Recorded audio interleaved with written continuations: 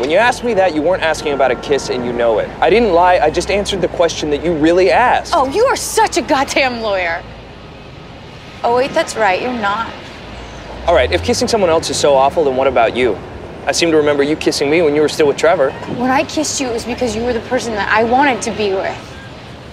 Obviously, that's how you feel about Rachel. That wasn't true. Wasn't.